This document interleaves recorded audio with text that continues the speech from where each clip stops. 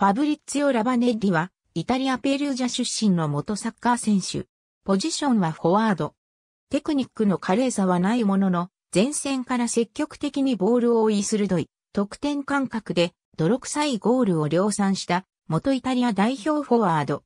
また、背中を曲げた独特のプレースタイルと特徴的な若白髪から銀狐と呼ばれた。1994から95シーズンにユベントスのスクデット獲得とコッパイタリア優勝に貢献すると、翌シーズンは UEFA チャンピオンズリーグで優勝。その後、ミドルズブラ、マルセイユを経て、2000年にラツィオへ移籍。ここでもスーパーサブとしてセリエ A 制覇に貢献した。